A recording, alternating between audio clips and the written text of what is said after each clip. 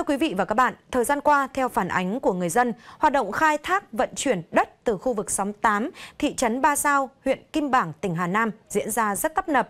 Hàng ngày có tới vài chục chiếc xe tải cơi nới có dấu hiệu quá khổ, quá tải, hoạt động rầm rộ qua khu dân cư, gây ảnh hưởng nghiêm trọng đến đời sống của hàng nghìn người dân.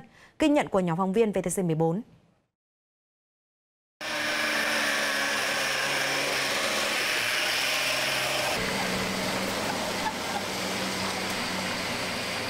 Thế là chạy là coi như chạy.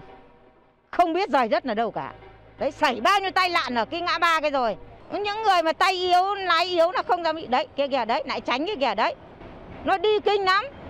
Đấy, nhìn các cái xe đây này Thực tế các cái xe này này Họ chạy thế này, khổ lắm. Dù xe không hỏng nhưng vẫn phải dắt bộ và đi sát vào lề đường. Đó là câu chuyện không chỉ của riêng bà Huyền mà thực tế chung của nhiều người dân ở xóm 8, thị trấn Ba Sao, huyện Kim Bảng, tỉnh Hà Nam. Xe đấy thì à, đường lô ma lô mô, đầy hôm tôi đi cũng bị trượt chân ngã. Nhà tôi đấy đóng cửa 24 trên 24 mà bẩn dã man luôn, bụi kinh khủng.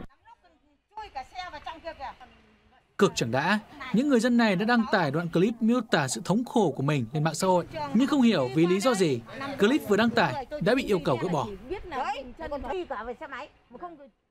Khi bùn, bùn lầy, dân chúng tôi không đi được mà coi như là khi dân quay clip là quay gọi là quay Facebook lên để cho cho cho uh, cho mọi người dân người ta biết để người ta chia sẻ cho ông tôi là cái lỗi khổ của chúng tôi. Thế nhưng mà mấy anh ở ngoài xã nhá, có anh ở ngoài xã cần bắt dân là gỡ clip xuống.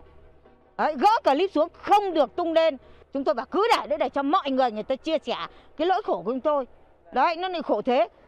Trước đợt trước là chỗ này là hố chúng tôi gọi là hố voi chứ không phải là là, là hố trâu, hố gà, ổ gà, ổ vịt gì.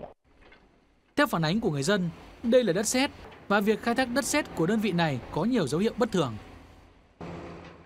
Năm rưỡi họ đã chạy rồi nhưng mà họ chạy có hôm mà đến 9 giờ đêm họ mới nghỉ. Một năm họ lấy vài tháng xong họ lại nghỉ một hai tháng xong họ lại lấy. Công an nó cũng vào, nó họ dừng được một thời gian xong nó họ lại làm. Chính quyền thì họ biết. Nhiều khi na chúng tôi cần họp này, chúng tôi kiến nghị này, chúng tôi đề nghị từ xã mà cho đến huyện đến tỉnh mà coi như nó cũng vẫn không ăn thua gì. Công an vào rồi dẹp rồi. Thế nhưng mà đến lúc cái sau cuối cùng chỉ được hôm trước, xong đến hôm sau lại tiếp tục như thế. Theo chân những chiếc xe có dấu hiệu chở quá khổ quá tải đất sét này, chúng tôi được dẫn tới cổng sau của nhà máy xi măng Bút Sơn nằm trên địa bàn huyện Kim Bảng, Hà Nam. Ngay sau khi phát hiện có ống kính máy quay, tất cả những chiếc xe này đã đột ngột dừng việc qua trạm cân để vào nhà máy. Thưa quý vị, câu hỏi được đặt ra là liệu có điều gì mờ ám đằng sau những chiếc xe nghi là chở đất sét có dấu hiệu quá khổ quá tải? Đơn vị kinh doanh, doanh nghiệp nào là chủ mỏ khai thác vận chuyển? Và liệu có tình trạng khai thác vận chuyển tiêu thụ khoáng sản trái phép hay không? Câu trả lời sẽ được chúng tôi chuyển đến quý vị và các bạn trong các bản tin tiếp theo trên kênh VTC14.